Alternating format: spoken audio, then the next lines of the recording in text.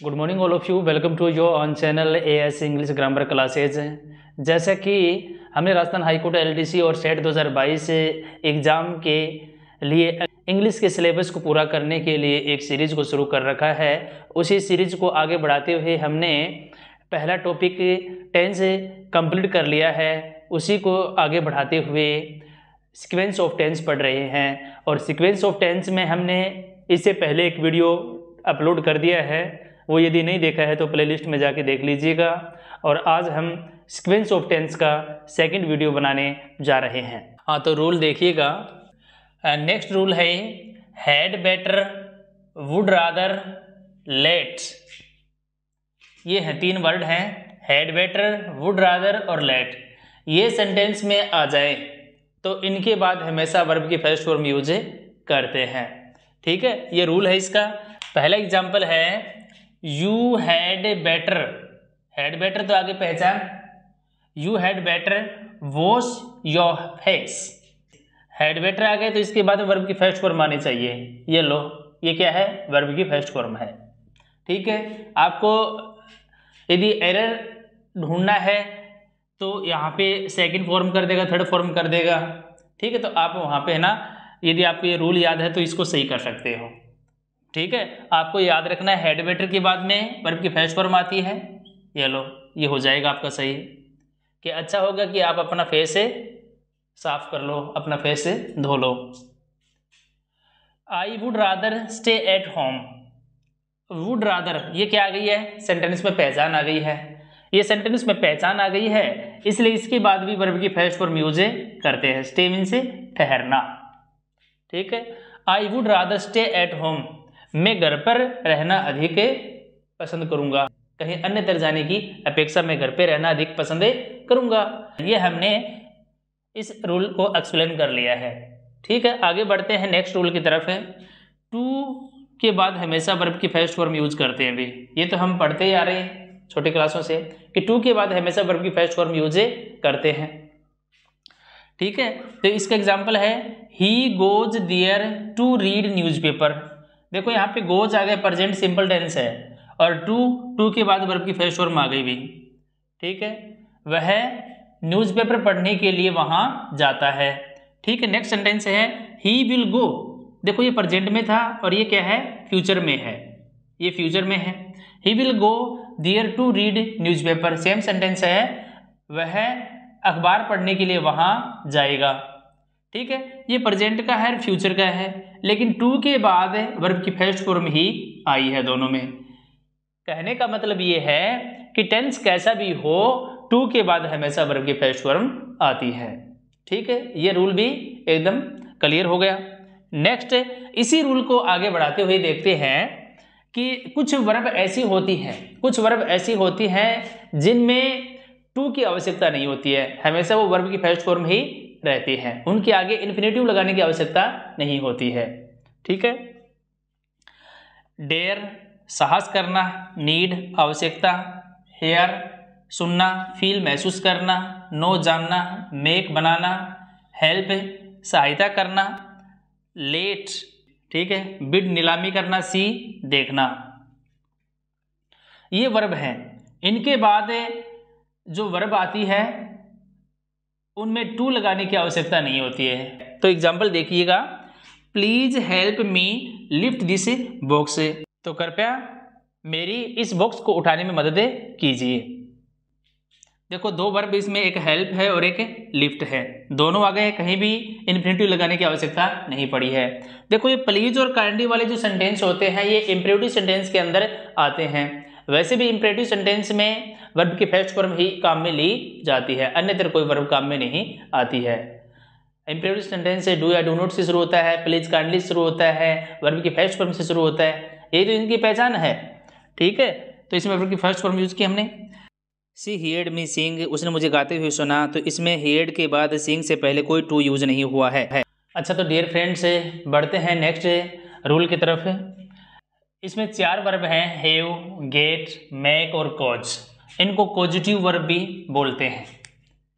इनको positive verb भी बोलते हैं। ये पॉजिटिव वर्ब किसे कहते हैं? प्रश्न तो ये है। ये चार हेव गेट मैक और कोज इन चारों वर्ब्स को पॉजिटिव वर्ब कहते हैं। तो पॉजिटिव वर्ब किसे कहते हैं? पॉजिटिव वर्ब वह होती है जिसमें कर्ता स्वयं कार्य न करके किसी दूसरे से करवाता है, उसे पॉजिटिव वर्ब कहते हैं। जैसे एग्ज़ाम्पल देखिएगा।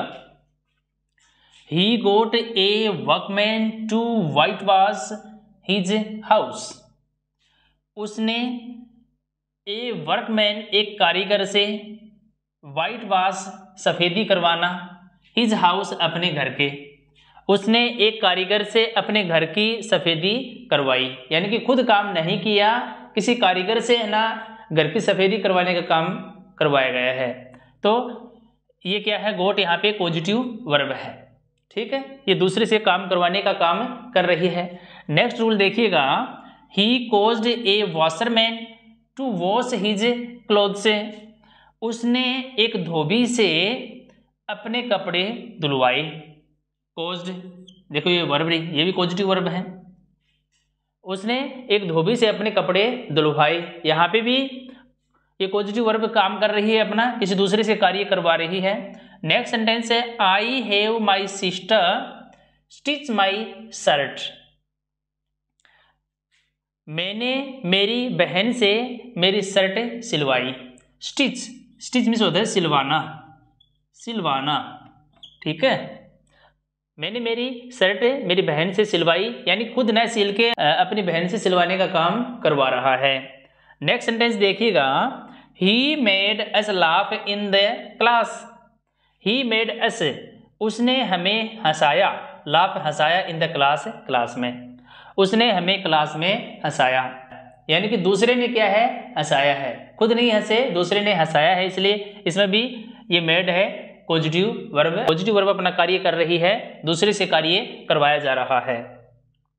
नेक्स्ट रूल देखिएगा। नेक्स्ट रूल में देखेंगे कि कुछ वर्ब ऐसी हैं जिनके बाद वर्ब की फ़र्स्ट फॉर्म प्लस आईएनजी आती है।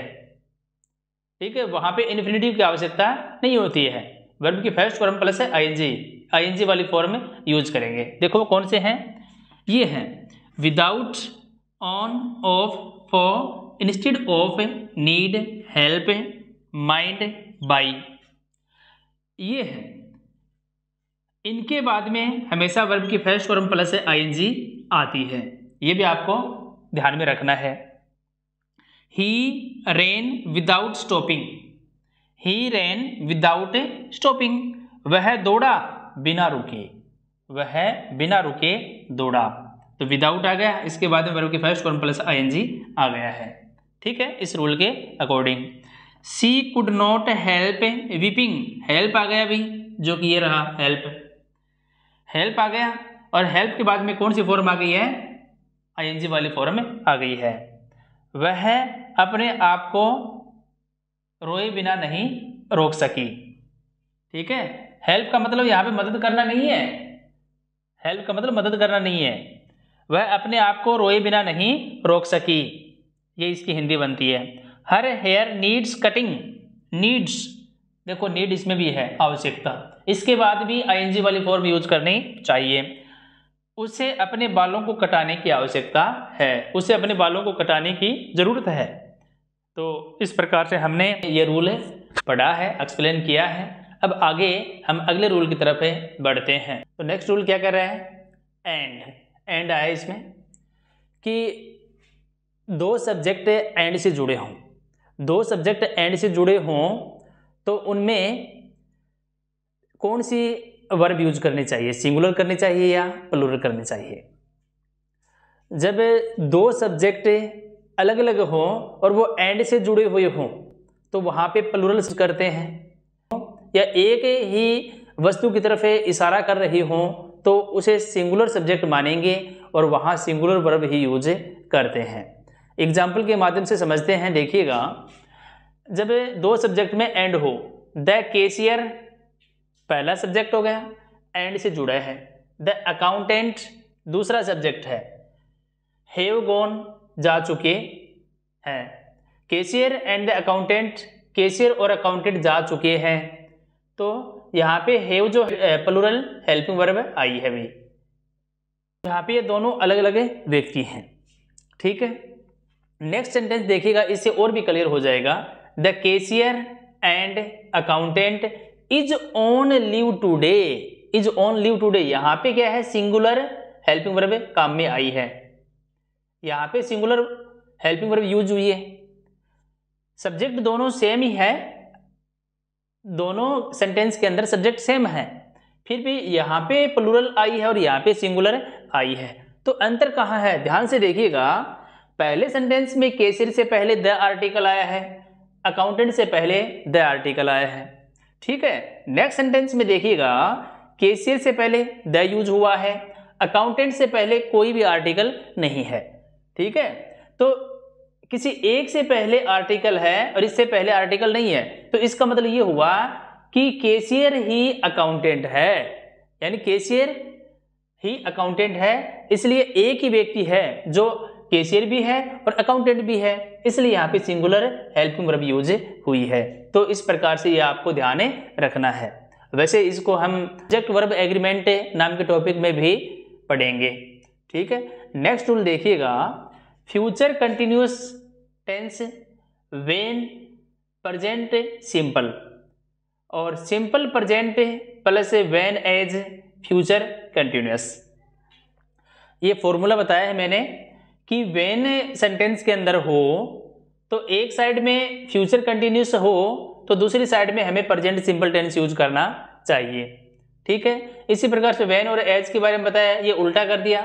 वेन एज में एक साइड में सिंपल प्रेजेंट है तो दूसरी साइड में क्या होगा? फ्यूचर कंटिन्यूस होगा भी। ठीक है?